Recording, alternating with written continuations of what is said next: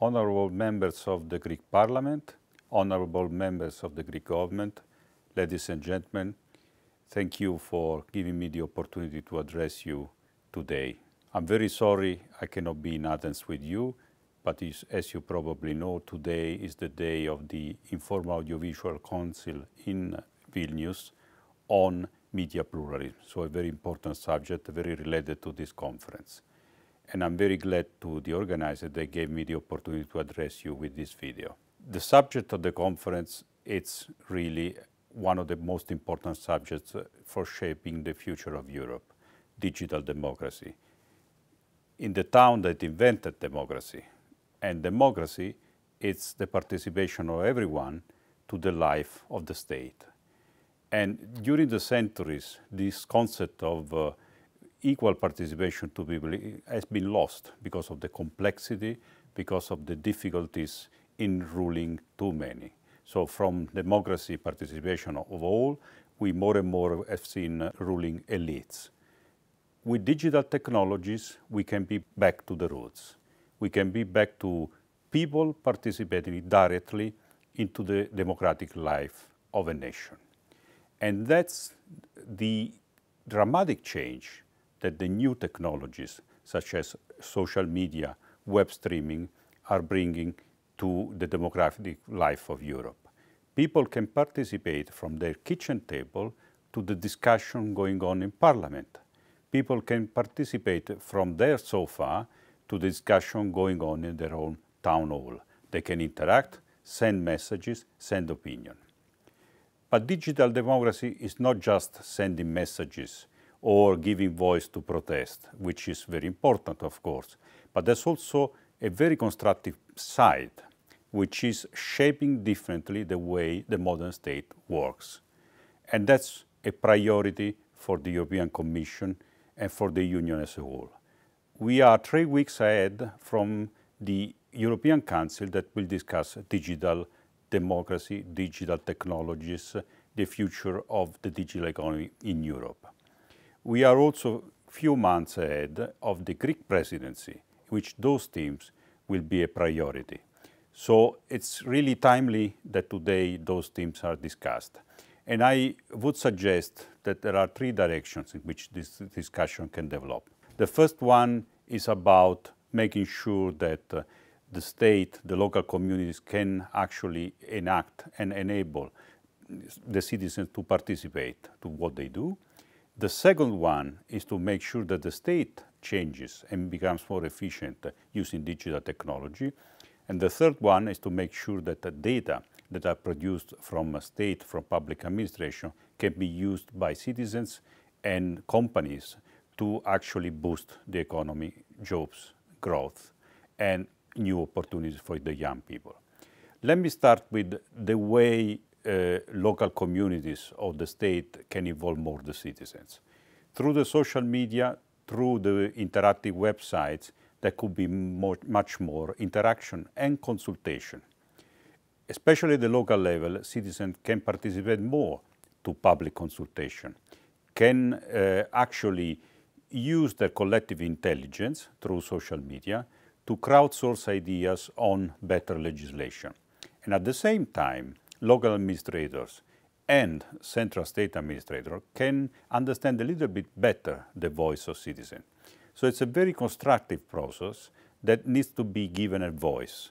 A voice that means changing for the better and changing for the good uh, in the public interest. At the same time, uh, digital means much more efficiency in the state machine. It means 20% saving in the cost. So instead of thinking about the state providing services at a loss, we can think in the future states provided, the model states in Europe, providing service at the gain for the citizens, at the profit of the citizens, by reducing the cost of supplying services and at the same time personalizing the services to citizens and companies. This transformation of the modern state is possible thanks to digital technologies. Three days ago, the Commission has approved a communication on changing education, education systems using digital technology. This communication is called Reinventing Education, and it talks about 24 different actions that the Commission and the Member States can do to change completely the way pupils uh, are approaching uh, education in the modern times. More than 80% of pupils in Europe are still not using digital technologies. More than 50% of students are not using e-books. And this is a tremendous competitive disadvantage when compared to the global competition Europe is exposed. We are well aware there are regions of the world which are accelerating when it comes to ICT and we need to be competitive. This is also linked to the possibility to forge new talents in the digital era. In Europe, right now, there are 1 million unfilled jobs in the ICT, 1 million. And when you compare this to uh, rising youth unemployment, uh, you really realize that it is in digital that we are going to have our future and the future for our children.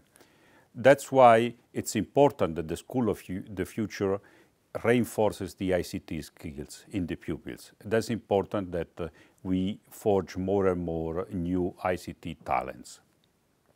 The other important point is about changing the health system using digital technology.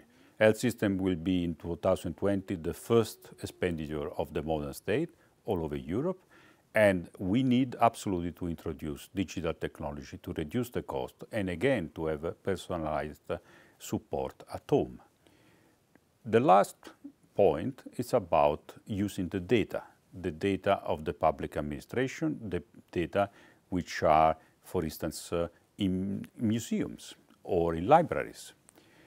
This is the richness of most of the European countries and in particular the richness of uh, culture-rich countries such as Greece, for instance. By digitizing the Greek art heritage, the Greek uh, patrimony when it comes to museums, sites, that means that you will have uh, the possibility to have many young entrepreneurs, many small and medium enterprises offering applications, offering uh, all sorts of uh, different devices and software to learn about the history of mankind, to learn about the history of art.